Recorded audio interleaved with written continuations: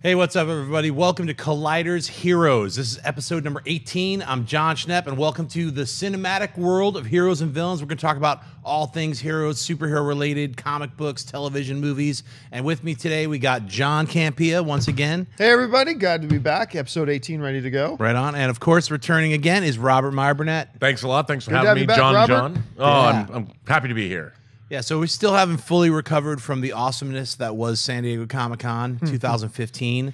Uh, while you're there, you just feel like it's whipping by, and then you're like, "Oh my god!" Now, and I have to wait a whole other year for this to happen again. It was amazing. It was, I thought it was a, really great. It was a little low key or lower key Yeah. than it was last year, but I felt like it was epic this year for some reason. Did you Yeah, there were was epic? there were some epic parties, that's for sure. There were some really fun. A couple of nights that were incredible. Yeah. So the whole thing. I mean, there was, it just felt like there was with Star Wars there and with with the Marvel movies that weren't there. It The Marvel felt movies that epic. weren't there. Yeah, right? It was Yeah. actually But, one of the know- more boring ones for me. Yeah. I I mean, but that was because we had so much work to do. I was like, I was all excited because I got the invite to the Playboy party, and then I couldn't go. And then there was all the panels going on, but I couldn't go. And then the parties going on, and I couldn't. I was like, I like most of Comic Con, I was held up in the beach house just working Wow. most of it. So I missed uh, I missed most of the cool stuff. Well, some people can have fun and some people can't. That's true. But that happens in lots of things too. So, you know, I hope that you guys, if you ever get a chance to encounter Comic Con, uh, enjoy yourselves because you, you can have a lot of fun there. Just walking the floor. It gets hectic though on Saturday. I gave up multiple times on Saturday. I, up, you know, I walked the entire floor, but it was like partial, like Sunday, Thursday. Saturday was just too jam packed. I won't even try. No, like we got there, we got there late. We actually got there on Thursday, and we went in and I walked the floor for about twenty minutes to half hour with Dennis and Wendy, and then that was it. I was like, I'm good because this this is as uncrowded as it's ever going to be. That's right. And after that, it's just it's way too much for me. Yes, it's very it's very hard to walk through uh, San Diego Comic Con. Hey, let's get in. Uh, let's get into trouble, ladies and gentlemen. Let's talk about Ant Man. What an incredible film this is! If you haven't seen Ant Man yet, you have to run to the theaters. We're not going to talk spoilers right up at the top of this. We're just going to talk in general about our feelings about Ant Man, and then a little bit after, right after we finish our Twitter questions, we're going to get into spoilers. So if you haven't seen it, right when we end the the Twitter questions, I'll give you like five seconds, and we're just going to get right into it and talk about some of the exciting scenes that we liked. But John Campea, well, you're, you you did a couple spoilers. You've seen it how many times now?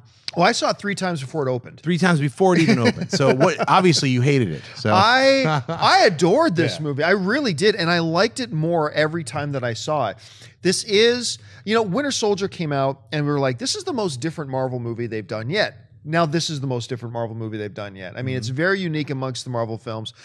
It's it's char- it's not an action-packed film. So like if you're going into it looking for wall-to-wall nonstop action, this isn't the movie for you. It doesn't try to be.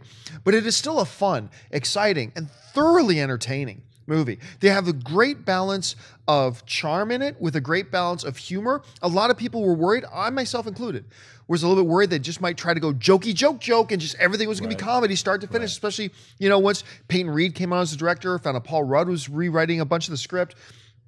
He just thought it was going to be yuck, yuck, yuck, and it's not. But when they do, it works. Michael Pena is a revelation in this movie. He's so great in this. By the end of this movie, I was just like, I could totally see a Luis spinoff. Oh my God. I would watch a Luis spinoff. I know they don't do those one shots anymore, but he'd be perfect. Oh, for Oh, those, those yeah, the Marvel one-shots. short one Yeah. shots. I long the short. I love this movie. It might drop down to third, but for right now, it's my second favorite Marvel standalone film, behind Captain America: Winter Soldier, maybe just ahead of Guardians of the Galaxy. I I just loved this movie. How about you, Robert? You know, I did too. And uh, what I really appreciated about it is you can now make a superhero film that doesn't have the world coming to an end. Right. Right. I, I mean, this this film was a was an intimate, small story, yet it felt very superheroic. It had as much fantasy and fantastical powers and milieus as you could possibly want, and I, I really enjoyed that aspect of it. I mean, it never got too big, and the, the stakes were never too high, and it really did feel that.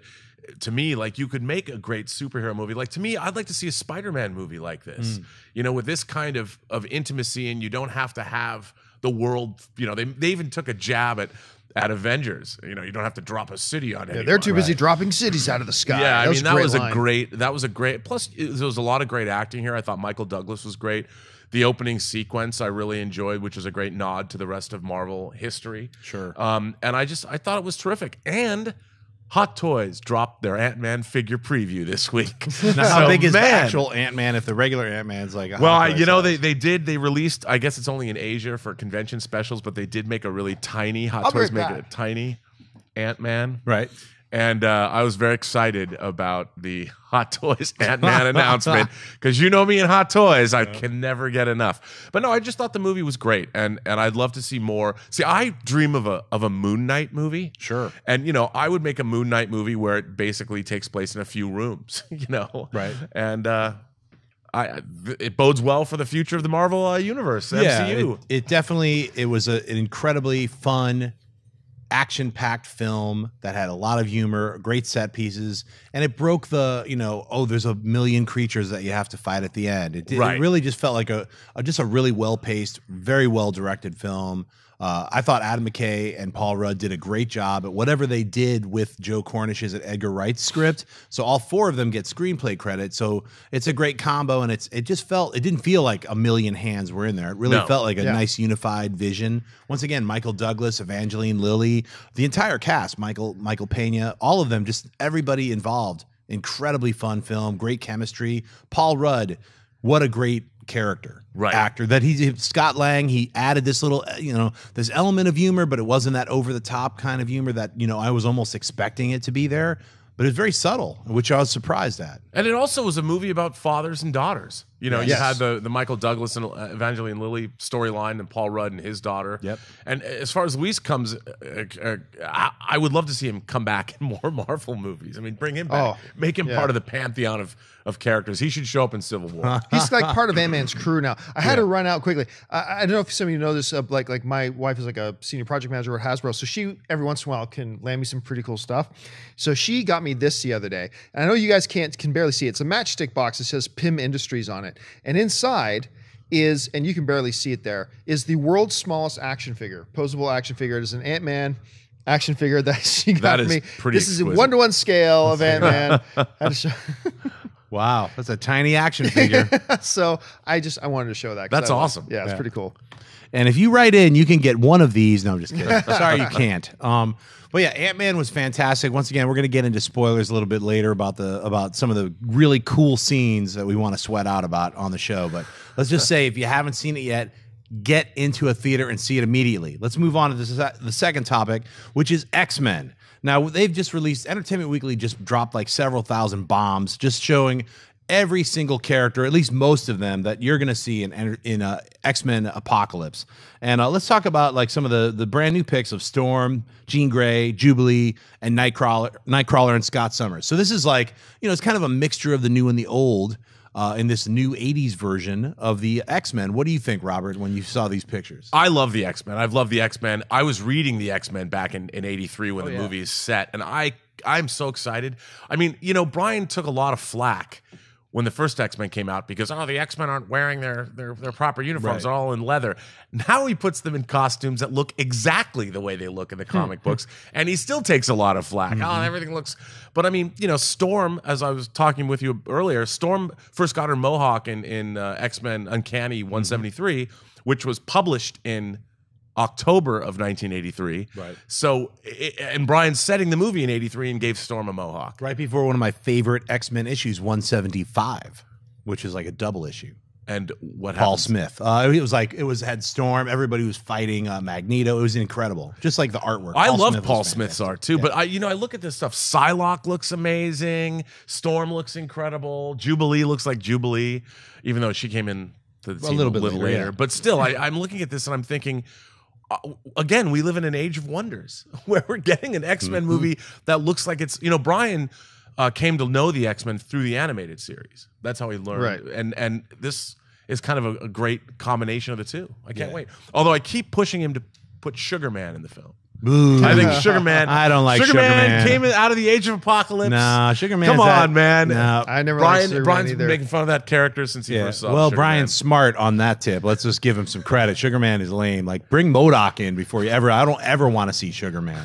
If they don't have MODOK in properly before they bring a lame character like Sugarman in, Sugarman's the lamest X Men character of all. boo. I know. But there are some people out there that I'm sure are fans, and I don't begrudge you, Sugarman. I do. So, John, what do you think about these X Men pictures? Well, I mean, look, it's not just these ones. I mean, the, the big kerfuffle, of course, was the apocalypse picture. We talked about that on Movie Talk the other day, and uh, he looks awful. He just looks terrible. And and some people will say to me, "But John, you constantly al- always say that it doesn't have to look exactly like it does from the comic book. You got to adapt." Absolutely, you do. Like. Don't put Wolverine in the yellow spandex. Don't- I mean, I totally.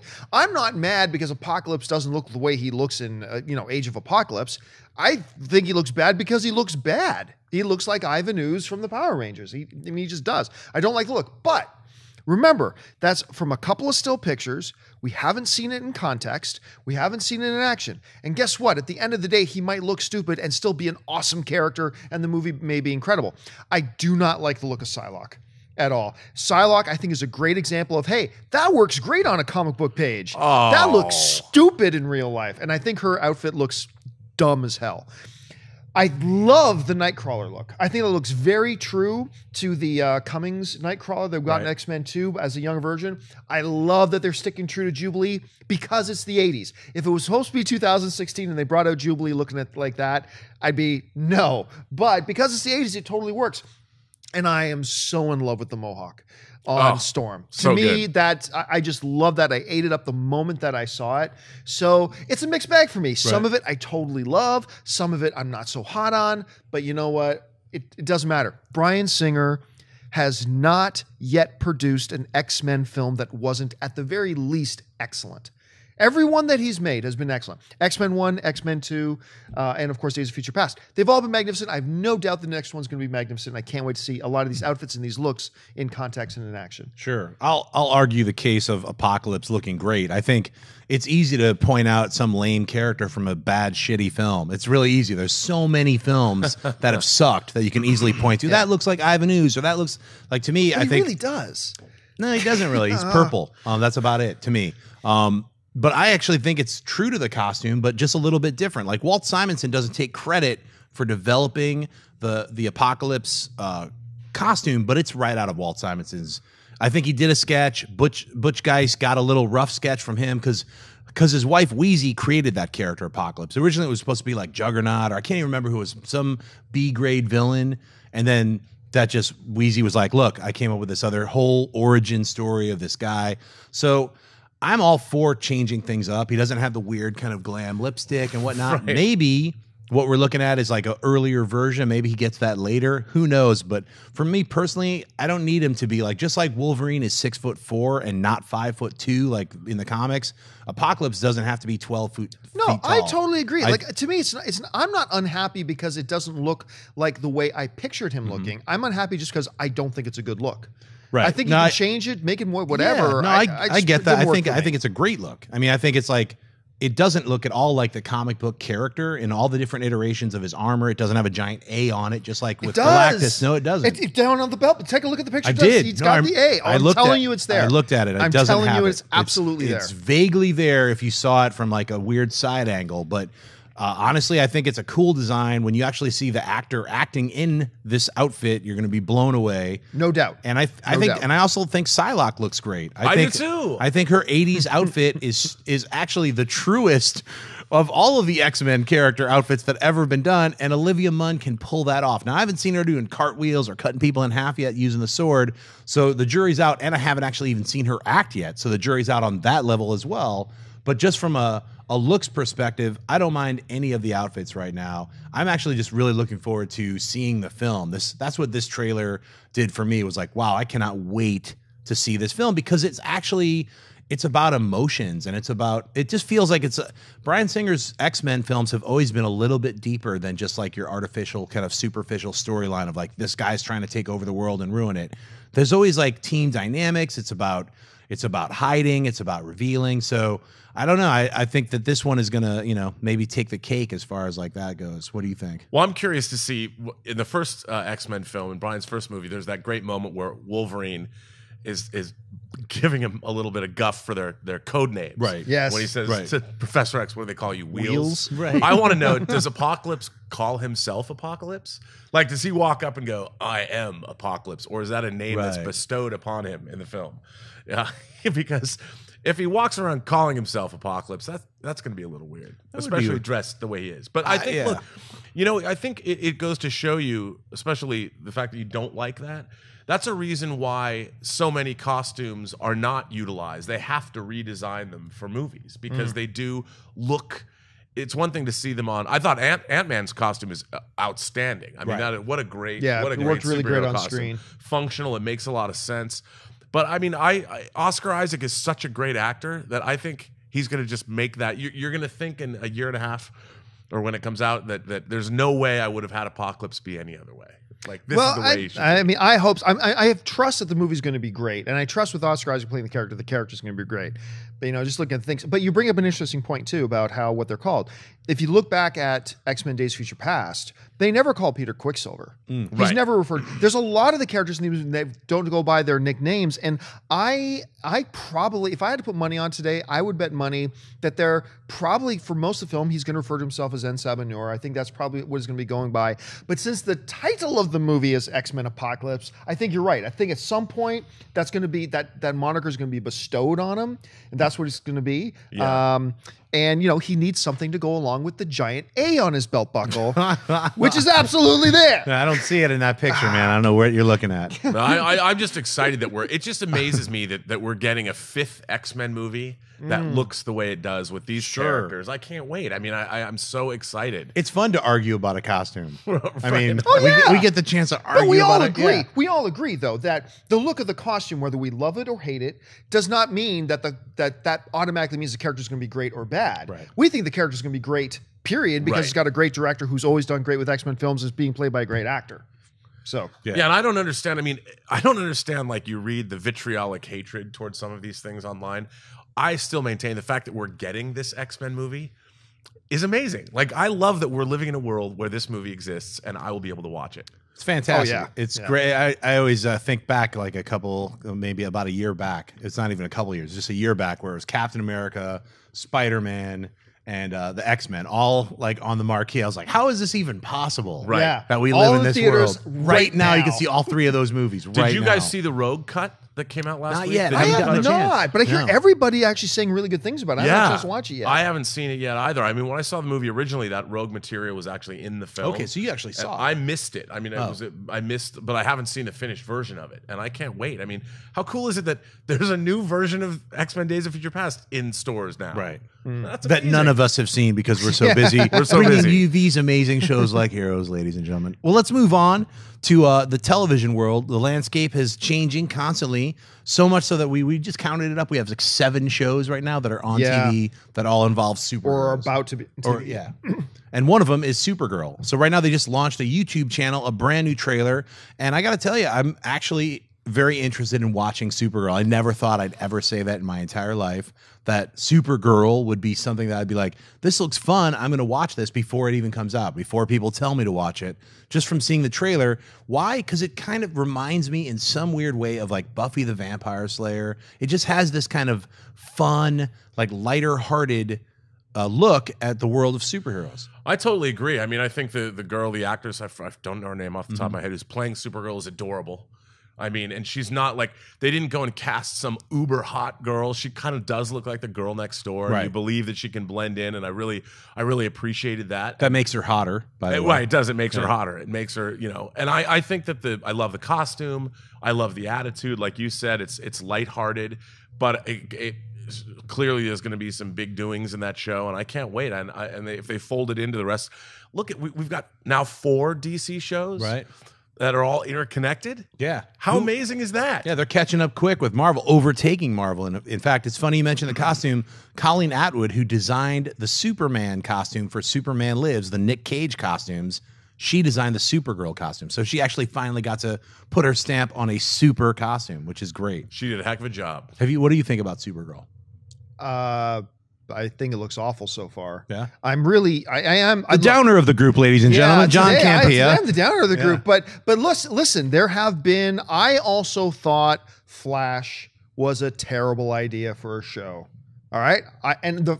I still stand by it. The first couple of previews they put out for Flash, I thought they looked awful. I too. agreed with you. I was not into it. I'm, I, But I'm in it's my favorite hero show on TV right now, right? So I mean, Supergirl could be the same. By the way, the actress name is Melissa Benoist. Oh, right. Um, and I totally, I think you nailed it. Like she's she's not supermodel hot, which kind of makes her hotter. The way Right. you were saying it too, right? Now I don't think the four DC hero shows are interconnected though. I don't think there's any connection. Between, you got Flash and you got Arrow, which are are clearly interconnected, and then you're going to have Legends of Tomorrow, which will eventually come out, but that is also on the CW, so those are all connected. Supergirl, I believe, is going to be on CBS. Yeah, yeah. So I don't know that they're going to connect those ones at all. I know there was a Hollywood Reporter publicity picture where it had like one of the DC uh, exec guys uh, on on a lot somewhere. yeah, Greg Berlanti. Uh, yeah, and then you had um, Grant, the kid who plays Flash, Right. and you had Melissa Benoist, both in their Flash and Supergirl costumes, sitting there.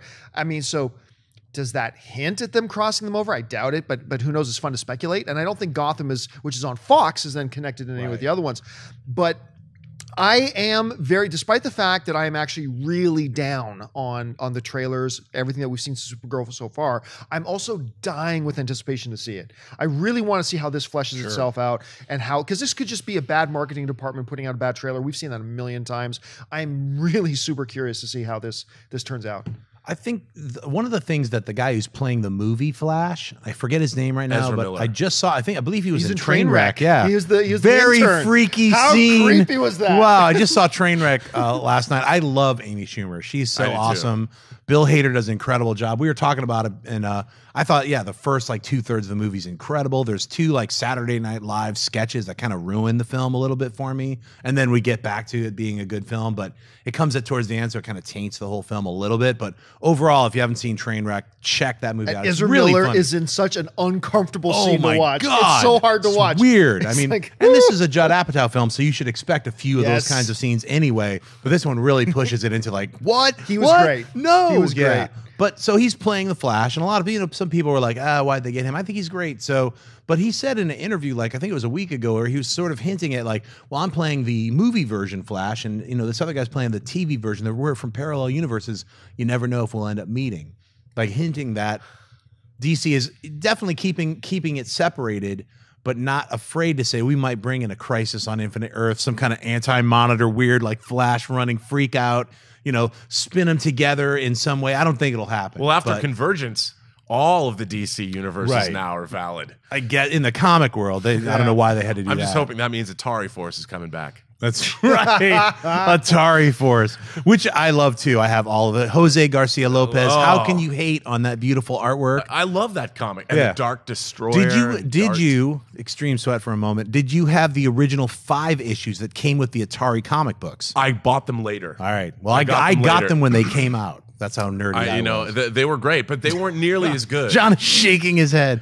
These nerds. I, I read like no, one or Atari two Force of is those. great. What is it? Atari It's like Force is 20 great. issues and a couple of specials. I think it. Well, yeah. Worth picking up in the dollar bin if you can find it. and one of the most horrifying endings ever. I think it was like issue 13 and it gets really dark and I didn't know how it way. ended. How- it how did- ends really dark. Like there's a duplicate dude of like the main guy and everything gets bad and it ends that way. Hmm. Yeah, it's like that's weird. Atari Force super dark like Empire Strikes Back but there's no Return of the Jedi. it's literally like that. You're like I can't believe that's that's it. That's right, son. Goodbye. Yeah. We're not collecting it into a hardcover. But Oh. getting back to Ezra's comments, yeah, Yeah. to me, I was listening. I watched that interview. What I, I can't remember. I think he did that interview with IGN. I can't. Yeah, yeah, I can remember. about a week ago. But he was doing that interview and he said that stuff. And I've heard a couple people almost say the exact same thing, and it's so the exact same thing that to me. A memo went out saying, "This is how we dodge these questions. Hmm. it. Say this. This will just keep everybody off our backs." talking points Yeah, here's your talking Yeah. point. Somebody asks you about, hey, well, you know, different Flash and TV and now movies. Why do it differently? Just say this line about, well, you know, there are infinite realities, Right. like, and that'll just keep everybody off our backs. I think you're right. I don't think they have any plans to merge these over. I don't think they ever will, and I think. Any belief to the contrary is just really wishful thinking, and not, not even on my part. 'cause I don't want them to cross over. No. I like them very much the way they are. I love you know, Flash being able to totally hands free, not have to worry about what some director on a movie that has nothing to do with me is going to affect my television show. And you They're- can't do anything because they're doing something with that character. Exactly. That's what always sucks. So honestly, I hope that I really do hope that they're able to wiggle some way to have Supergirl be part of the Green Lantern Arrow universe. because that's all on TV. Yeah, that would I be mean, interesting. I think that would be fun. I know they're on different networks. They're going to figure it out. They'll make some handshake. Plus, it just makes it better for everybody. It does. You know, it's like when they were they were going to do a Picket Fences X Files crossover. You know, they can make it work. yes. Of course, that didn't actually happen, but it almost did. Let's move on. We've got the vacation writers, one of them from Freaks and Geeks. They are writing the brand new Spider Man. So, this is like after Kevin Feige a few weeks ago had mentioned, hey, look, we're going to do Spider Man. We're going to kind of rock a John Hughes kind of feel, like get it like that fun summer kind of like, hey, everyone's hanging out in the Breakfast Club, but one of them Spider Man type of a thing. And now we've got these guys writing it. Now, when I first heard this, I got to be honest, I was not that happy about it. And I still am not 100% happy about it because yes, Vacation looks fantastic, and every single trailer that I've seen so far, I laugh out loud. So I'm looking forward to this new version of Vacation, and I believe they directed it as well, right? yes, they, wrote did. and They also- directed it. also So directed Vacation. got my fingers crossed about that. But they also wrote Horrible Bosses too, which I thought was very not funny, at least to me. And uh, what was the other one that they did? That Well, they did. Uh, they worked on Cloud with a Chance of Meatballs. the, they, the first Wonder Stone, Bosses, the and Wonder Wonder Stone movie, which I hated. So it's like, yeah, you know, it's like it's good and bad for me right now. So I'm I've got my hopes up that you know, look with Vacation, and they all seem like they're like definitely nerds that are going to get to do a good Spider-Man story. So I want it to be great. What do you think, John? I'm actually, you know what? I'm optimistic. I really am because I really enjoyed the first, I, more than most people, I enjoyed the first Horrible Bosses. I had a really fun time with that. I think Cloudy with a Chance of Meatballs is probably the most underrated animated film we've had in the last 10 years. Right on. Uh, I think that's the second one, not so much, but I don't think they had anything to do with the second one. And everything I'm seeing from Vacation looks fantastic. Now, I might feel differently after watching Vacation, but after seeing guys with just kind of very lightweight comedy backgrounds, like the Russo brothers step in and suddenly knock it out of the park, with a guy like Peyton Reed stepping in and knocking it out of the park, and with a guy like Paul Rudd stepping in and, and knocking it out of the park. And they've done enough that I like. I'm also, to my shame, a little bit of a Burt Wonderstone defender.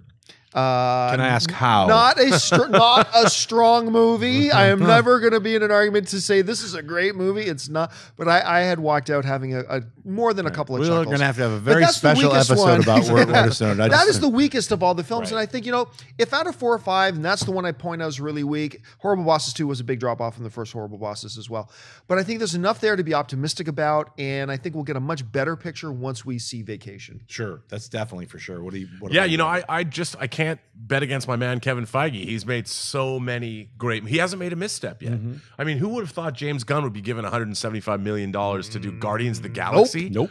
You know, and and he saw something. He made that decision, and the guy's on a roll. He can do no wrong. So I'm gonna, if I am any, if I have any trepidation at all about these guys doing Spider Man. I would defer. Yeah, to, they should- to my lord, lord and master roulette. They should bet on red. Bet on bet on Feige. Right, Bet on that should be right in the middle. I'm in the middle, on man. Yeah, always bet. I on mean, Feige. people are talking about how well Ant Man didn't open to the kind of numbers the other super. Well, why? Why should it? It's called Ant Man, and no one knows the character. And they now never expected it to. No, and now he's beloved. You know, and and and people can't wait to see him. He's in Civil War, people and I'm clapped. excited about people. Uh, sorry, we're getting into spoilers here. Oh, is that a spoiler? Well, yes, because he could die in the movie. You never know. Oh, Uh, right, But anyway, okay. I, it says Ant Man. Well, Man since will they've already announced Yeah. announced that he's going to be in Civil Yeah, War. I Yeah, but people that's a spoiler. clapped when it said Ant Man will return. In the theater that I went on Sunday night, people there was pretty pretty packed house and people loved it. It's fantastic. Plus, it was a, it was a really legitimate, wholesome family movie. Really, I was surprised. Yeah, it's all about family values and It like, is. hey, look, you can turn the turn your entire life around if you really love your kids, or you know, or can be be a good person. I guess is what it's about. Right. You know, don't be a jerk. Is what Ant Man's about, right? Right. That's ultimately the moral of the story. Yeah. Don't be Hey, a jerk. Don't be a jerk, Ant Man. Right. Let's get into a thing I call minor mutations. This is just news from around the week, and we're just going to list some stuff off, and then we're going to roundtable talk about it. So, number one, we got M- Martin Freeman does a, li- talks a little bit about his role, very roundabout way, his role in Civil War. Uh, Jaimie Alexander confirms that she's going to be playing Si- uh, Sif in Civil War, and that's going to lead or tell a little bit more about Thor Ragnarok. The Flash has a brand new suit for season two, and that's been revealed. And then we've got Ryan Reynolds. He desperately wants Deadpool to be in X Force, X Force, and he wants to have Cable in that. Be so. I mean, you know, come on, you can't be mad at Ryan Reynolds for like, look, he's he's living the dream. He's oh, doing yeah. Deadpool. It's rated R. Everything seems to be rocking out. The trailer looks incredibly fantastic. He's fighting Colossus for Christ's sake. It's incredible. And now they're they're talking about they've already announced an X Force movie, and then it got pushed back. So we know it's in development. Now he's saying, look, I'd love to be in that. Can that even happen? What do you think, Robert? Uh, absolutely. Uh, You know what? I, I five years ago I thought none of this would happen. we live in a world of miracles, you know, and uh, I, I think that if, if that Deadpool movie got made and it did, to see Cable in a new, I would like to see all of the the lineup of New Mutants, Right. You know, all uh, which which would mean that it would be the Rob Liefeld universe, and I I'm a Rob Liefeld fan. I'm a supporter. I think he's a great guy, and I liked when I read his widescreen epic comics. I like them. I like that whole end of New Mutants. I will say about Rob Liefeld, I supported him for Awesome Comics. I bought every single issue that ever came out for over three years. Why? Because he bought, he paid Alan Moore, and that was at a time when Alan, no one wanted Alan Moore. They're like, nah, he's crazy, he's hard to work with, and everybody dropped him like a hot potato. Rob Liefeld was like, look, can you help rewrite my pretty bad universe that I created, which is you know basically a series of knockoffs of all these other characters. Right. Can you add all this amazing dimension and write for me? And Alan Moore restructured his entire universe, rewrote everything, starting with Supreme. And because he did that to one of my writing heroes, I was like, I will buy every comic that Rob Liefeld, who's very easy to make fun of because he can't even remember where a thing goes on a costume. Every panel is just, he's like, I don't know what this patch is. Here's a buckle. You know, it's like, he's like a kid, shiny thing, shiny other thing, shiny teeth, 5,000 teeth. Very easy guy to rip on. He's come up with a lot of cool characters. I can't be 100 100% supportive of his storytelling techniques, but at least he when he knows he can't tell a story, he'll hire people who actually can. So for that, I love Rob Liefeld. Then he created Deadpool. So He created Deadpool, and I'll tell you something. One of the funniest stories I ever heard at Comic Con, I was actually at the Playboy party and ran into him, and he told me the Is story. that the one how- I couldn't go to? No, no, this was a couple years back. Oh, a and couple he, years he- back, okay. In 1994, he had a one to one scale spaceship, a Youngblood spaceship that he had built. And uh, he brought it to Comic Con. It was on the Comic Con floor when, when Image Comics first hit.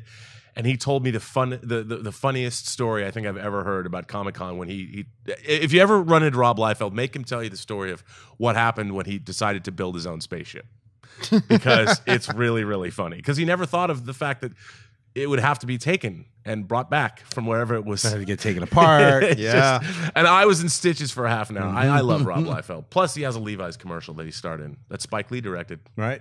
Um, X Force. Well, here's the thing. This is why this is more plausible than you might think. If you look at the history of the Fox films with uh, the X Men characters, right? They have believed that what they need, and they haven't been wrong. I'm sorry everybody thinks they were wrong, but they weren't wrong. They believed that they needed to leverage their most popular characters to carry the franchises so they can use a bunch of other characters that nobody had ever heard of and probably wouldn't have gone out to scene had the more popular ones not be there. Ergo, you get Wolverine in everything uh, ad nauseum, even even in first class. He had to come best one liner in first class. though. um, so they put him in everything. He became that anchor for them, right? I believe what we're about to see is a transitional period between when Wolverine becomes Fox's anchor character to make everything else possible to Deadpool. I think Deadpool is going to become their new marquee character where they're going to feel, you know what, maybe an X Force wasn't going to work. Put Deadpool in the X Force. They're seeing how people are responding to all the media right now. Look, Deadpool's not going to open to 120 million dollars. We all know that, but it doesn't need to. That movie opens at 70 million. It's a coup. Yep. It's a total coup. And now suddenly Fox has this brand new character because they've been sweating with Hugh Jackman saying, "I'm I'm almost got clock's ticking, guys. I'm going to be done here." And I really think that you could now take this Deadpool character, put him in the new X-Men films that are going to come after this new trilogy is finished. You put him in an X-Force. Now you've got that chip in your pocket where you can do an X-Force, and we got a super super mega popular character that will carry it and get people introduced to these other characters.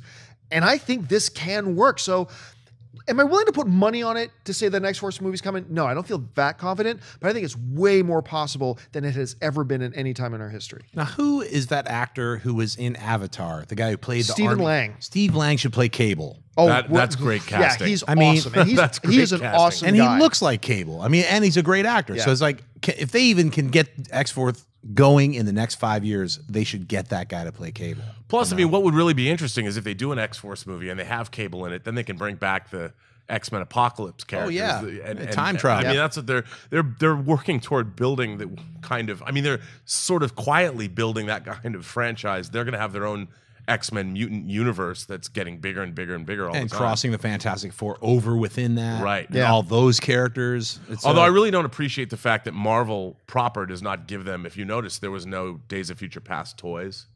You know, and they're they're canceling the Fantastic Four comic. I look, they're playing hardball. They are playing hardball, but they they did sell those properties, No, I know. and I think they should they should do what they do with Spider Man. They should make a deal, and I want to see the X Men. I want to see Wolverine in an Avengers movie, man. you just want a weird don't. hot toys of Wolverine or ah, something. you know, That's the, what- that, that's the only hot toys they make. I want the entire pantheon. I want a Bishop hot toy. Come on, man. All right, let's get into the next tu- the next subject. It's flashback time. The movie that we picked, well, I picked it this week. It's Howard the Duck from 1986. Wah, wah, Howard the Duck. Remember that song? Howard the Duck. Yep. Yeah. Thomas Dolby doing the music. Yes, Yeah. and Tho- Thomas Dolby even has a little and what cameo it was in Thomas it. Dolby and, and Dolby's Cube or something. Or what I don't know. I can't even remember. I just remember when this movie came out. It was a train wreck. It was uh it's truly one of the worst films of anything that's I mean, this beats out any Captain America bad film or Roger Corman's crappy Fantastic Four film. This was just a really bad, horrible film. The reason I picked it though is because I think this character could actually work. If you go back to the original comics that Steve Gerber and Val Mayerik did, it was basically Marvel's attempt to cash in on Fritz the Cat. Uh, So absolutely. You got to look back into time and look at like where these characters and why and when they actually were created and what the cultural milieu was going on around the time. So this is in the 70s and there was a very popular X-rated cartoon done by Ralph Bakshi. It was called Fritz the Cat. It's a whole lot of crazy sex going on. There were animals, humans, weird. It was freaky and strange and it was very fun. And I think those guys were smoking their what about a duck? You know, it was just like Howard the duck, right? Fritz the cat. It makes perfect sense. Well, it was the, you know that line. It was trapped in a world he never made. Totally. And and it was it was almost like. And the problem with the movie, I think, is that the character of Howard the Duck is not in it. You know, they made a movie called Mm-hmm. Howard the Duck, and they didn't look at their. They weren't going for this counterculture. They tried to make him this. Look at him. I mean, he's he's he's this lovable. It, it was for Yeah. kids. Like Yeah. Howard the Duck was never for kids. You know, I mean, and they should have done it with like Roger Rabbit. You know, they could have done it where Howard the Duck is now a CG animated character. Well, you know what's strange? It's I- a man. Howard the Duck is a man in a suit. It's a yeah, and it's bad. It's not good. Bad. Well, I mean, they were do- working with the limitations of the time, and I read. I didn't even know this until doing a little research. It was like it was actually supposed to be an animated motion picture, and then because of a rights issue, they were like, "You have to do it live action." Now you should. Uh, George Lucas produced this. Yes, he did. Star Wars. George Lucas. And he was, and it, when he realized he had to do it live action, they were already in. You know, they were like, "All right, we're just going to do it." There is some things though, like Jeffrey Jones' character, the visual effects at the end, the monsters, the overlords, or whatever. The they- scorpion-looking they- thing. It's amazing. Yeah. I mean, there's some incredible ILM visual effects in this movie, and it's worth. You got Lea Thompson from Back to the Future, Yes. you know, following up. her- She's great, and you've got the great music of Thomas Dolby. I don't know why it's all put together this way, but it is worth watching. I, I recommend it wholeheartedly because it's it's a, a- just a strange. You wonder how did anyone make this movie? I, I to to furthering that question, I ask why did anybody make this movie? I thought this movie was just an awful train wreck. I mean, which is, it, but here's the thing: it's not the kind of awful that makes me go, "Oh, you got to see it." Like that to me, this is one you're going to be perfectly fine if you never watch. But can we bring up that picture of Howard again for a second? Let's let's bring up that image. I don't know why, and maybe I'm the only person in the world that sees this, but when you look at this picture of Howard the Duck, all I see is Sean Astin's face, the guy who plays Samwise Gamgee in Lord of the Rings. Is that isn't that like Samwise with a bill? it's definitely it's definitely not Howard the Duck looking. No, No. it's not. But why I brought this uh, this pretty horrible film up is because of that ending with Guardians of the Galaxy. Now, if you haven't seen Yeah. Guardians of the Galaxy yet, I don't care. You should have seen it. At the very end, there's a spoiler the end credits where Howard the Duck is hanging out, having a drink. Yeah. And he looked so weird and kind of busted and strange that I was like, it immediately made, and he looked like brought to life out of the comic book. Well, he looked like what an incarnation of how the duck should have looked like. It totally, and I want to see that. I guess I think it was it was voiced by Seth Green. He would be perfect. Bring Seth Green. Let someone make a Howard the Duck movie, please, because I think it would work really great right now in the year 2016 or 17 or Marvel's Phase 11 or however long we have to wait for Howard the Duck. I think it would be a great Oh, fun I, film. I'm sure James Gunn is plotting. I'm sure he wants to do a Howard the Duck movie because what a, what a great redemptive moment for the character. I mean, James Gunn's the kind of guy that's going to be like, "Oh, you don't think I can do a Howard the Duck movie? Right. Oh, Just watch me." you Yeah. Wrong." And I, I, I just think that that would be a great. Plus, maybe make it a period piece, the way Days of Future Past was set in the '70s. Make a Howard the Duck movie that's partially set in the '70s. Uh, let me continue my bummer thing here. Oh, sure. You know, nobody will go to see that movie, right? Nobody will go see that movie. Wait, If let it's me good, Let me flip it. nobody let will me see flip that it. movie. Imagine 2019. Let's go into the future a little All bit. right. not setting the I wouldn't do a period piece. I would make it 2019. Howard the Howard the Duck shows up, but make it a fun comedy. Like get someone like Adam McKay on that. Give it that kind of humor. Make it funny. Don't try to be serious. I'm listening. It's Howard the Duck. You can't even begin to want to be serious with this kind of thing. You have Seth Green doing the voice. Already a funny guy, does amazing characterizations in Robot Chicken. You make it a really fun action comedy. I'm there. Maybe. Trying to sell campaign think, on this. I think you just painted the best possible scenario Yes. that maybe, maybe. Well, I mean, anything could be redeemed. Look at the, uh, the was it Reb Brown who played Captain America in that first Captain? Clear Like, plastic shield. It's never going to Motorcycle Work. guy. That yeah. Red Skull though was awesome. that Red Skull, the guy. But was uh, yeah, if it, look, if I think I'm of the opinion that anything can be done well. Mhm. That's why I'm, I'm really waiting for an Atari Force movie. Sure, but not not anything will necessarily have an audience run out to see it, whether it's done well or not. But but if it's if it's funny, Right. you know, there's people don't remember Howard the Duck as being something that betrayed their childhood. You know, I I think that I think that it, it's uh, it's people are like Howard the Duck. I mean, if you were to make one now, I think you get past this, and if it was good. Now everyone loves Howard the Duck as Guardians of the Galaxy. They're like, "That's awesome! I want to see more of that character." I- I haven't heard a lot What of if you didn't? You didn't just call it Atari Force. It was just the Atari symbol. Just get rid of Which kind of looks like the last Post-credit scene in Starfighter pixels. symbol. I Really. I know, right? Post credit scene in pixels. That's right. Atari Force is coming. All right, we're moving on. Spotlight. This week, we are talking about top 10. We mentioned Alan Moore a little bit earlier. Uh, a few years after he uh, he left Awesome Comics, he started his own chain of comic books called the ABC line. And it, it comprised of uh, this cool kind of like science fiction-y uh, Tom Strong. It had this kind of tarot-laden uh, Wonder Woman kind of uh, take, Promethea. Then it had like a little anthology series with a couple, couple of characters that were like done by some other amazing uh, writers and artists uh, like Rick Veitch and stuff. And then he had this kind of a procedural superhero cop drama called Top 10. Now, this comic book series, it didn't last too long Loved it. It's it is if you haven't heard of it i mean it is just fantastic. The artwork is Gene by Ha. gene ha and zander cannon. Fantastic designs. Alan moore's just incredible bubbling brain of ideas just like brought forth like what if we had this world of everybody's a superhero? Sort of like what he did with miracle man and when it ended his series on miracle man was like look now everyone is going to have the chance to be super super powered and have super you know abilities. What if that mutated into this thing where it just it just became commonplace and you had like you know a, a guy with a dog head was the chief of police and you know a weird robot a holographic creature was his sidekick. I mean there's so many different characters in this in this series that i would love to see this turn into either a television series or a movie I think it would work great as a television series. Just it being called Top 10 is a fantastic title. And then when you have just so many, just looking at, I mean, Alex Ross, the, the incredible Alex Ross, did a series of different, he helped with some of the character designs, did a ton of, just a ton of uh, amazing paintings for the comic book series. I, I, whenever I was reading this, it was a few years back, I just imagine this like, wow, I wish they would do a television show like this. So, what do you think, Robert? DC did a uh, did absolute, I believe, an absolute version. Oh, yeah, I've of got Top it. Ten. It's Oh, great, yeah. and and Promethea as well. I love these comics, and I thought Alan Moore was not going to go back to superheroes, but it was really interesting that he kind of came back and it was more of an fu kind of a thing to Mm-hmm. everybody. He's like, okay, I know I'm a legend, but I'm going to come back and I'm going to do Supreme for Rob Liefeld, Mm-hmm. you know, and then I'm going to go do my own thing, and I'm going to create my own pantheon of of characters, and it it's they're fantastic and they're beautifully done as well. He didn't mm-hmm. skimp at all. I mean, the Gene Ha artwork.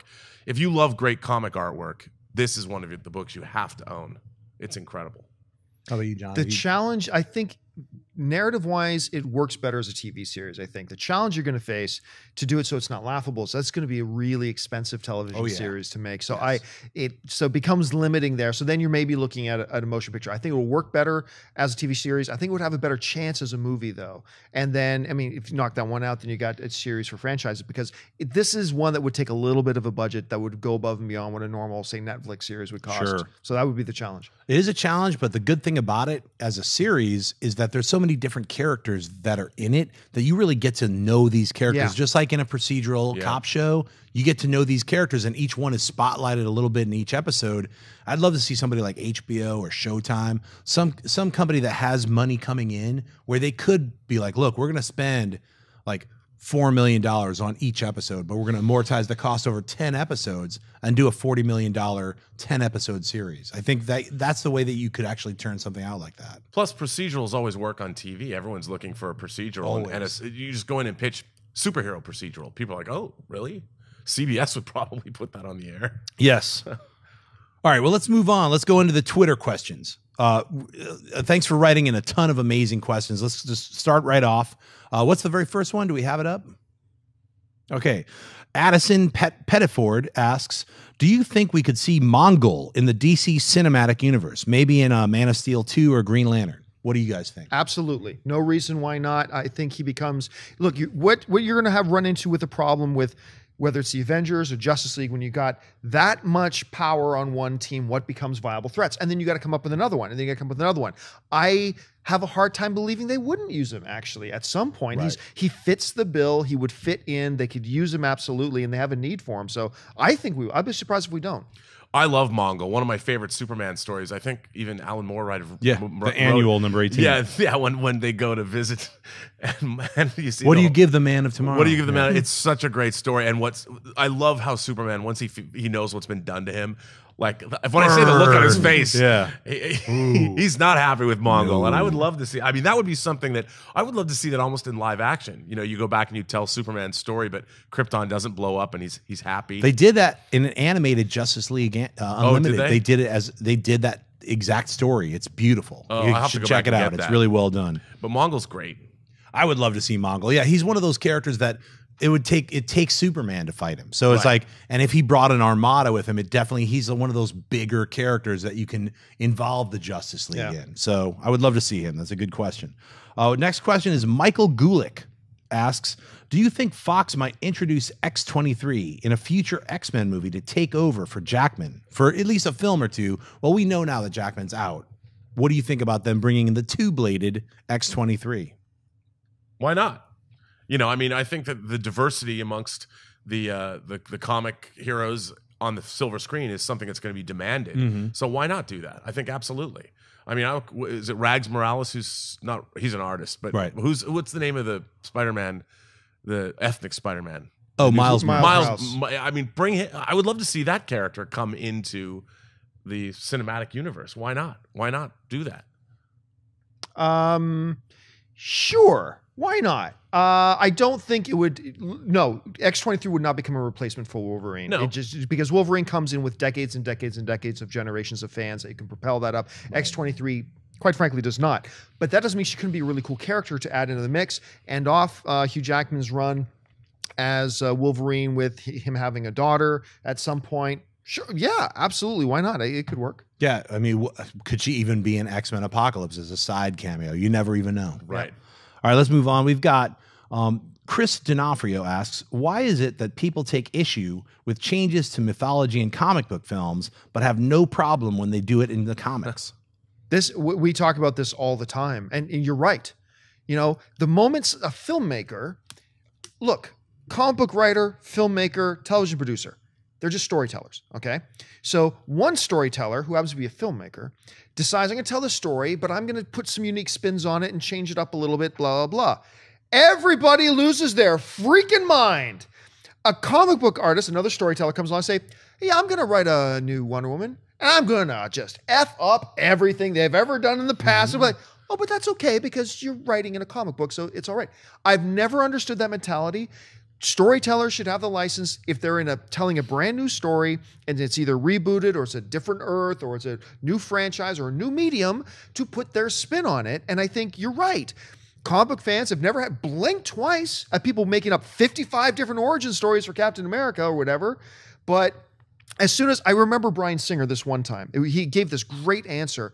Um, they were talking about bringing Superman Returns to Comic Con, and somebody at Comic Con asked him, "Why did you decide to change the suit, the Superman suit?"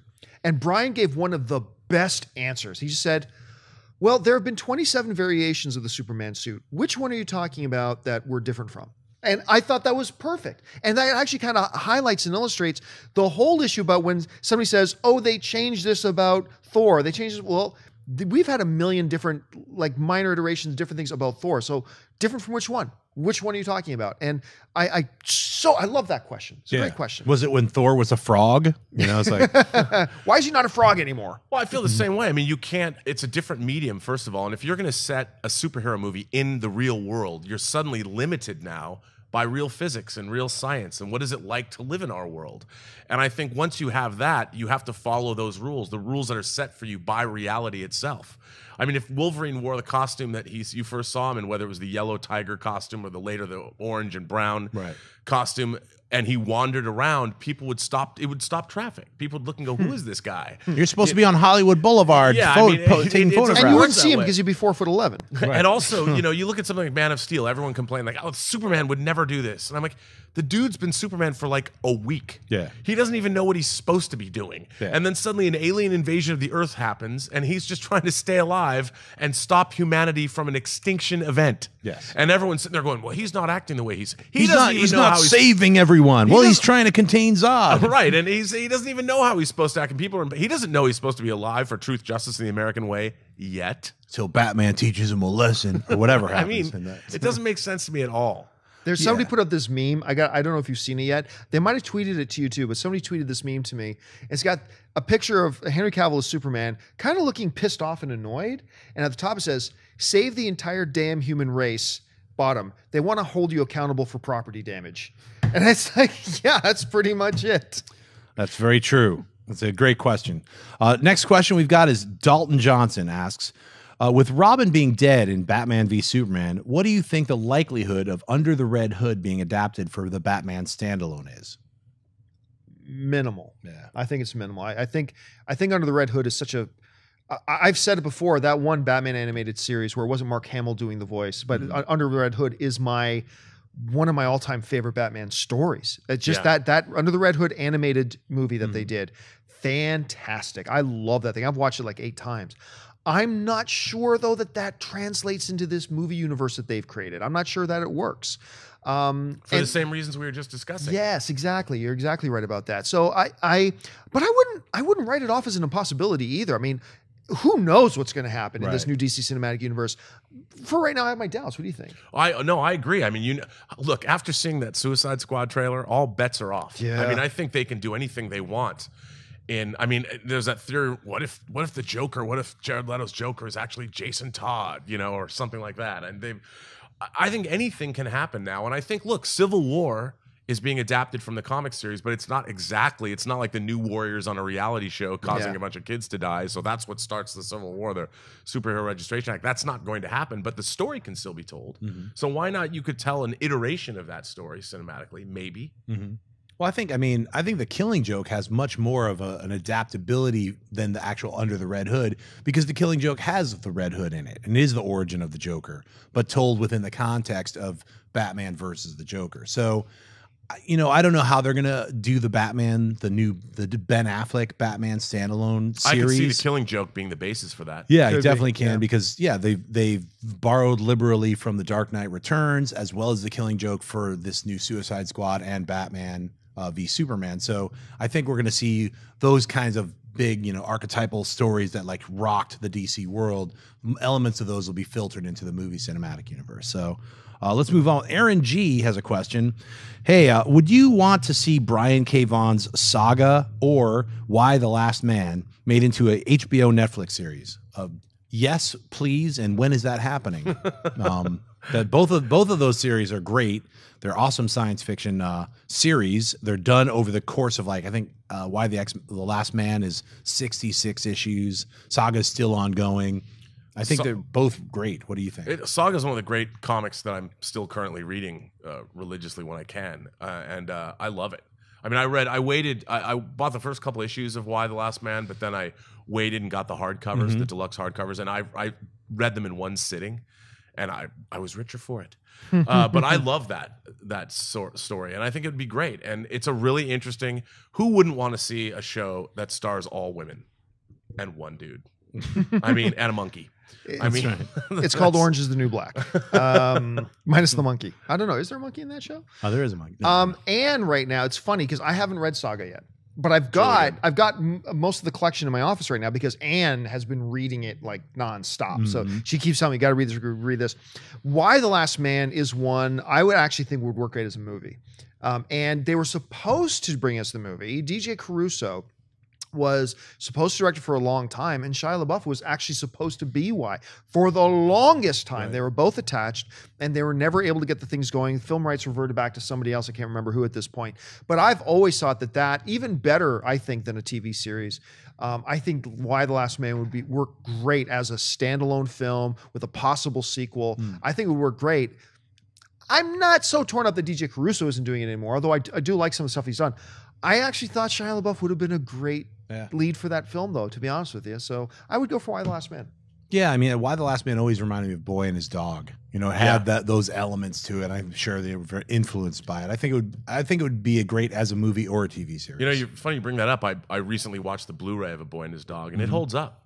I mean, if you haven't seen that movie, uh, Boy and His Dog with Don Johnson, and a telepathic dog. and a telepathic telepathic blood dog. the who doesn't? rover. Yeah, who doesn't love that? All right, here we go. With uh, next question is Andy Mans asks, "Hey everybody, with the interest in Wesley Snipes from Marvel, do you expect we'll see a Blade Netflix series or maybe the Midnight Suns?" Okay, first of all, the, I've been reading all the stuff all over the place. Marvel wants Wesley Snipes. And look, this all came from one interview at Comic Con where offhandedly Wesley Snipes said, Yeah, I've met with Marvel, talked with Marvel. Marvel talks with everybody. They take meetings with 100 people a day. Mm-hmm. And no, I don't believe for one second Marvel is really serious. I want to go out and get, you know, Wesley Snipes to come back and play Blade or play something else. That's not to say that, that Wesley Snipes couldn't pop up here or there as something else entirely. Uh, I, I'm not writing that off in, at all. I'm just saying this is, I believe, another one of those situations where somebody takes a clip of something, doesn't really think about the context of which it, it was said, and then builds this new reality around it that Right. Marvel's going after Wesley Snipes. No, they're not. I mean, so, uh, but I personally get into the heart of your question. I would enjoy it as a fan to see him pop up in something, not as Blade again, but to see him pop up in something because he is a dude with a lot of on-screen experience. He can be a, he's he's a legitimate martial artist.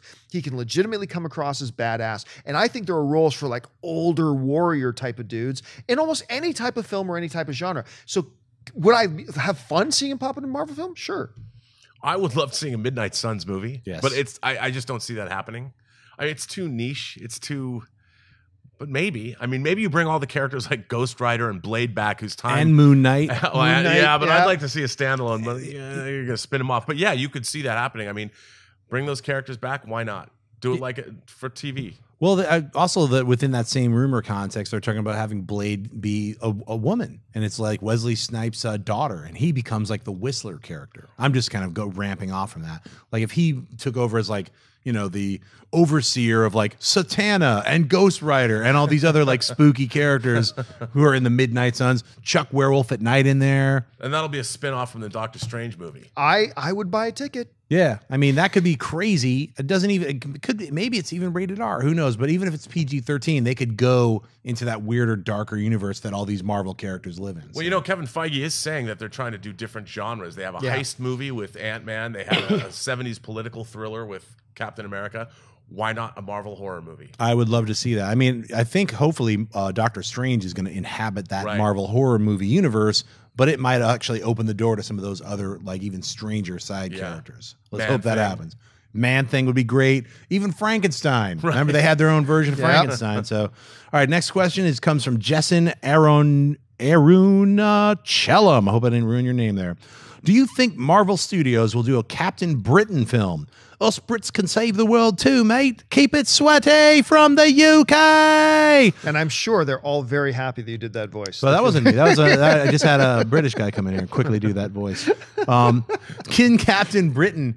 You know, I have to be honest. I never liked the Captain Britain outfit, but the artist Alan Davis, when he was drawing that character, I did end up reading that, and I was like, "Wow, that would be kind of cool to have a Captain Britain character." But he's all alone over there in, in Britain. Did they ever give him other like an Avengers from Well, there was uh, UK? Excalibur. Wasn't he Right. part of. Excalibur Yes. for a while? I mean, and, uh, uh, why not do an Excalibur movie where it's all British, all European characters, you know? That'd be fantastic. And I think that'd be great. It could be a spin off from the. I don't know if they're covered under the Fox deal. Would they be considered? Ooh, I mean, Probably. I, I mean, Yeah, you're right. I would love to see an Excalibur movie. Come on, who would want to see that? As long as it's better than the, most of those comics were. yes, But uh, and Alan Davis was a great. I, he's one of my favorite artists. yeah, he's fantastic. Fantastic. Well, All right. the one thing you got to keep in mind too about Captain Britain is, aside that's you raised the ultimate question: what, where does it fit in in the Fox deal, stuff like that. Mm. Um, it's possible, so maybe not Marvel, but could we see him pop up? Let's say in the Fox world.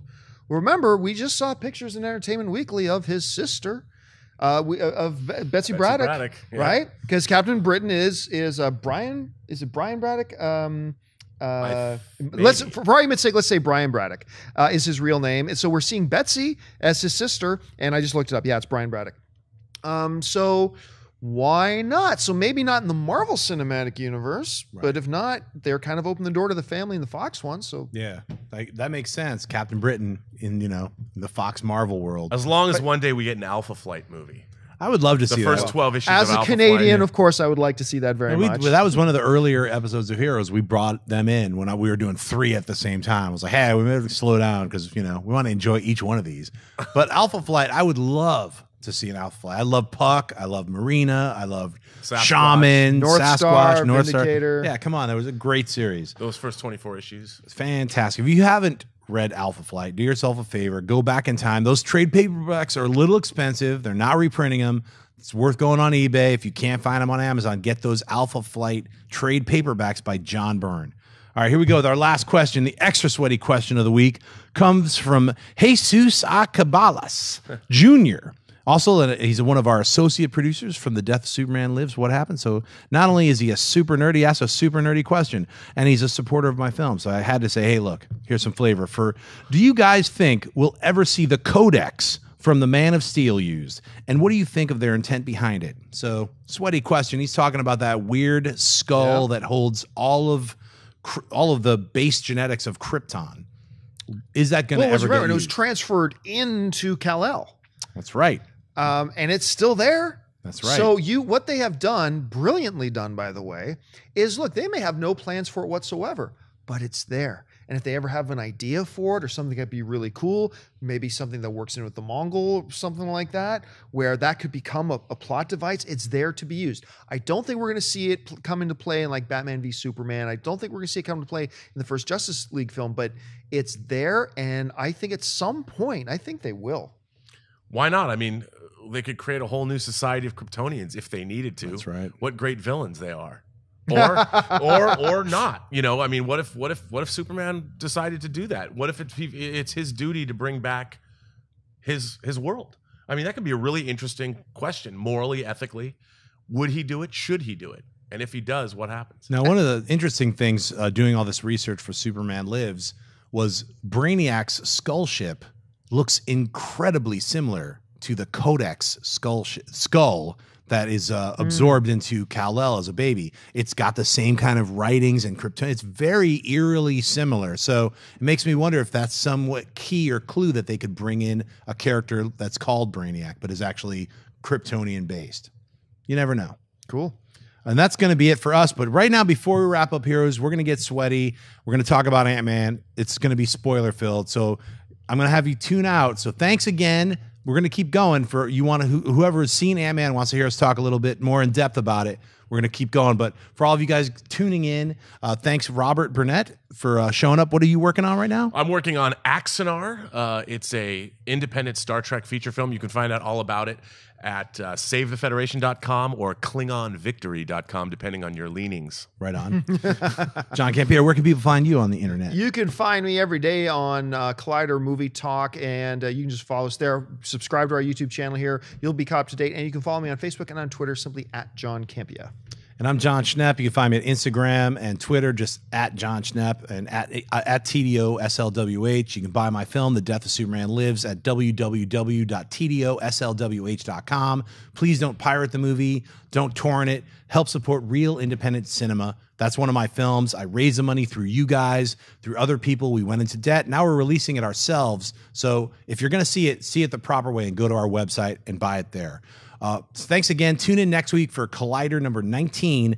And now you got to hit stop because we are going to go off on Ant Man spoiler filled for about five minutes or so.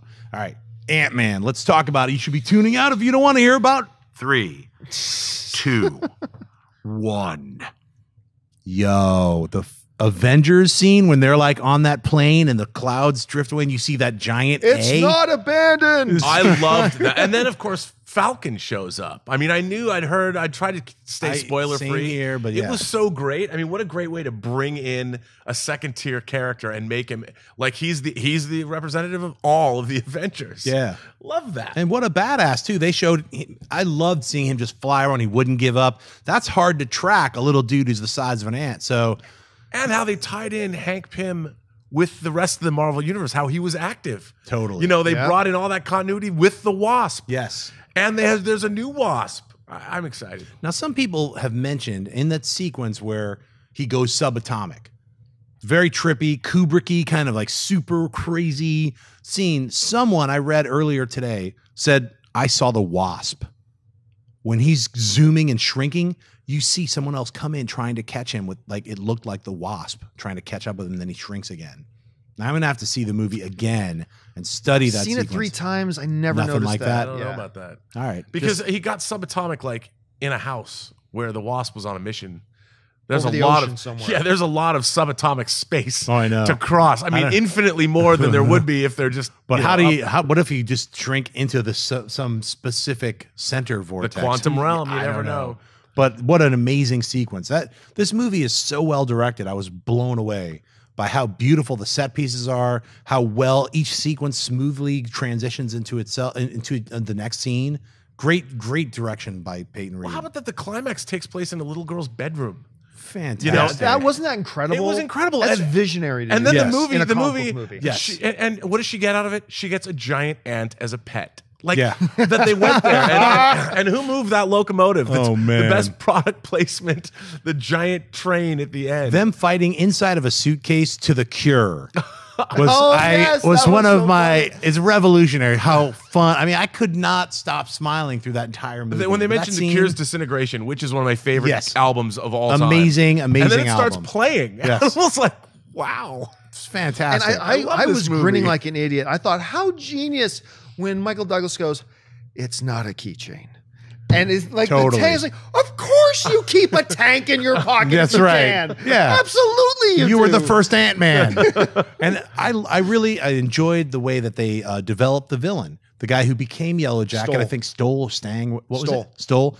Um, amazing actor. yeah, great actor, but I like that he was like he was his mentor. And then why did you let me go? I saw too much of myself in you. There's It's a like great line, yeah. so much of that, so much of the dialogue was perfect because it's like it lets you see like oh they were working together and that you know that desire was like hey look it's not safe my wife got killed I'm not gonna he pulled out but this guy's obviously got his head a little screwed up from the shrinking. You know, I mean, that's what they were intimating and saying, "Hey, he, he's messed up because he did experiments on But, but himself." here's the here's the thing though that I, I didn't understand in the movie was that you know uh, Hank uh, sets out that you know that the helmet protects you from certain effects because it can make you go a little crazy in the shrinking. But he Stoll had never shrunk. They hadn't been able to get the technology yet. Where he, Right. is it because he's just standing around things that they're shrinking that the particles have started to affect his mind? I mean, that's I, all I could gather from it. And he's a jerk to little sheep, so I think. Oh, every you know what? At first, when you if I read that on the page, you know, instead of a mouse that brings in sheep, I probably think, oh, okay, yeah, it's a, a mouse or sheep, it's a living thing. But when you actually watch it visually, and they come walking with that sheep, you're thinking. They're, they're not going to kill this sheep, are they? Oh yes, they are. and they cut away to an extremely adorable close-up shot of it. Ah, extra. Oh, it's so cute. Mucusy, weird thing. That was really hard. I was like, well, I don't know why that affected me so much. When I first saw that, and it's just a mucus stain. You're like, that was a life. But you it know reminds what? me of Galaxy Quest in the scene when they first tries the teleporter on the one creature. And it comes, Oh, that's right. that's what it reminded me of. well, you know what's funny? Everyone I was talking to was like, "Oh, that poor sheep." I was like, "Remember, just like three scenes earlier, he did it to a human being. he killed I a know. and dude. wiped him away and flushed him in the toilet. Same exact thing. No one really mentioned that. They're all whining about the sheep He getting. wasn't cute. I know. Or I'm just- fuzzy. I know he was not cute or fuzzy. He, and he was innocent. The sheep is innocent. He was like complicit in some way, even though he didn't want to. Hey, I'm not so sure about this thing, but I'll take that money. For, uh, you know. People And by like, the way, that yellow jacket costume was great. It's going to make one heck of a was hot toy. awesome. It- Yeah. the It was Yellow. Jacket Really outfit was incredible. well designed, and I mean, definitely it takes its colors from the actual comic book character Right. Yellow Jacket. Completely different from the comic book, but I thought, it, yeah, it was fantastic. And part of me was like, wow, it's like better looking than a lot of those Iron Man outfits, you know, as far as just from the design Yeah, aspect. really cool. and Michael Pena stole the movie with me. Like, Back it up. me. Keep I- backing up. Keep going. Back it We're up. just- Back nothing's going to stop us from getting to our friend. Backing up. Yeah, Just backing- just backing up. backing- keep but the way he would talk, and I love that little device they use where he's telling the story, and then visually you see the story unfolding, but the characters are actually mouthing the words that Pena's using and Yes. clearly putting in their mouths. It's like, yo, I'm a super dope undercover, like whatever the lines Yeah. were. Like with the, I'm, I'm, I'm, you know, guerrilla journalism and stuff like that, the way she Well, would talk. And I love how he's like a he's like a connoisseur. He's highbrow. Yeah, he's a totally. wine connoisseur. Yeah. He goes to museums. You know I don't like red, checking right? out the abstract art, talking about it in very highbrow fashion. I, I have a rosé here. that's and I like because they introduced that that uh, that way of telling the story. That the second time they did it, they could go deeper. Yeah. because you already Yeah. were used to. Oh, he's going to jump around. You're acclimated Then- to it. Acclimated to it. Then it got cr- even crazier with the dialogue. Like they had Falcon coming in. I'm looking for that. Well, you want a guy who can. They it, they mentioned Spider Man. got a guy who can. We got guys who can jump. We got guys who can crawl, crawl up walls. We Yep. got guys who can swing, and it's like, well, looking for some there's your little. shrink. And the, the, I was I said this on movie talk, but it's like the brilliance of that line is because I think when they shot that scene, they didn't know if the Spider-Man deal was done yet, where Mm-hmm. they're going to come through. It doesn't matter. You could say that line, Right. and Yeah. we could have been talking about anything. But now that we know the Spider-Man deal's done, we clearly know they're talking about Spider-Man, which is a really cool shot. And I love the little uh, shout outs like Tales to Astonish. that was great. Like he was like, "Hey, what is this? Tales to Astonish?" Just talking about that's of course for the nerds. You know, that's the first appearance of Ant Man, the character. You know, not Ant Man the superhero, but I think it was like just him, like shrunk, a scientist shrunken down and trying to run away from ants. You know, it's Right. basically. And I love the fact that that they made ants, giant throngs of ants, lovable. Mm-hmm. Like I want my own little device. Who in doesn't want ear. an Anthony? I, I, I, I want that. you can I have mean, an I- ant farm, it and they're so cute. Oh, Marvel sent me an ant farm. Oh, nice. Yeah, in the mail. Yeah, they actually sent us a full ant farm. I was like, I don't know what I do with this, but it's pretty cool. Should bring it in here. We'll, make, we'll harvest some ants, then start to like make them do stuff. Go make me some coffee. But I just like the fact that it, it once again it shows that you can make a great superhero film, and it doesn't have to be this gigantic spectacle. Yep. I, and let, let's let's close it out by like addressing the Edgar Wright issue. When we first heard that Edgar Wright, who had been working on this for six years, had left the project, I think all of us felt like, well, now what's going to happen? Right. The the the person the, the person who was spearheading this is gone. The creative vision is gone. And I think what Marvel was able to do because they were working with Edgar, maybe certain things got flip flopped and changed, but obviously Edgar's imprint is all over this film. You could feel and see certain scenes that feel Edgar Wrightian almost. But then there's other elements that definitely have that Paul Rudd, Adam McKay flavor, and overall it feels like a Marvel film. So basically, mission accomplished with Ant Man. And uh, I'm looking forward to Ant Man two. Really, Uh, I'm looking forward to seeing what role they have for him in Civil War. Yeah. That last end credit scene clearly indicated that he's got he's got a key role Yeah, to they got play in the Captain next one. America and Winter Soldier. You're like, what's happening? It's not enough. You know, like it's only one minute. And who are they calling? I don't know. Oh no, they're call, they're they're calling Ant Man because the, here's Oh, the thing. that's right. He said 'Cause you they got a friend. he That's goes, I- right. he goes, They're calling Ant-Man. I know a guy, and the moment he says I know a guy, black screen, Ant Ant Man Man will return. That's So right. it's like, Uh. and that's it for us on Heroes. We'll see you next week.